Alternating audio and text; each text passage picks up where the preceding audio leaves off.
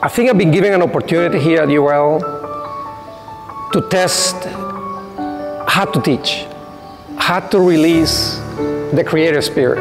It's my belief that creativity is an innate gift. We're all born with creativity. Sadly, I think our educational system represses that. You know, we basically teach to memorize things. And to me, that's really a big waste. I think creativity is the first thing we need to tap, and then everything else will take care of itself.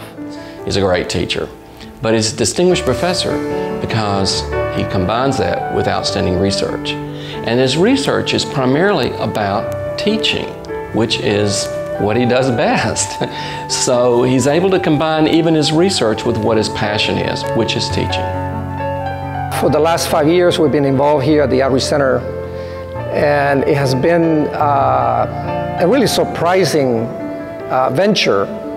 The student interaction with the clients has really offered them an opportunity to do something that they probably never done before, and that's come in contact with people of different demographics, uh, primarily the poor.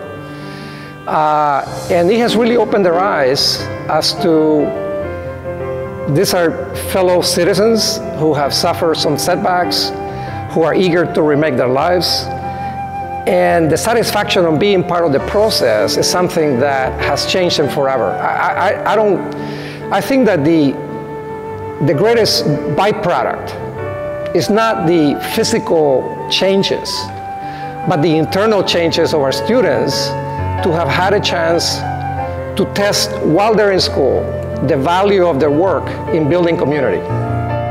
I can honestly say that Hector is one of the largest impacts on my life and that I have been very privileged to have had the opportunity to have my path cross with such a visionary, somebody who is a great mind and a great thinker and who just brings all this hope and possibility into being and helps make those connections.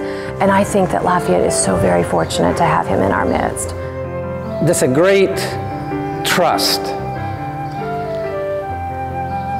to be allowed to touch hundreds of people on a daily basis.